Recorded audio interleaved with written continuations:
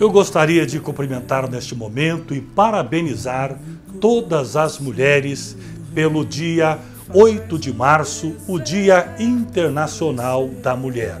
Todos os dias são os dias das mulheres, mas o dia 8 de março, uma data escolhida, uma data especial, onde homenageamos todas as mulheres e lembramos do seu trabalho, da sua luta. As mulheres que estão no lar, no trabalho, na política, no campo missionário, na sociedade, por vezes como Ana, clamando a Deus, por vezes como Débora, lutando, ou como Esther, intercedendo, ou como Maria, aquela que emprestou o seu ventre para gerar o Filho de Deus.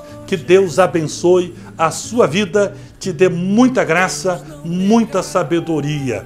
Feliz dia 8 de março, o Dia Internacional da Mulher. Um grande abraço. Uma mulher